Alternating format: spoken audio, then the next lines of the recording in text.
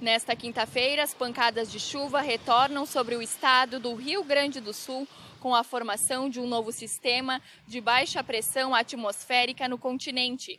Em Santa Catarina, a chance de pancadas de chuva com raios moderadas a fortes em cidades do oeste catarinense.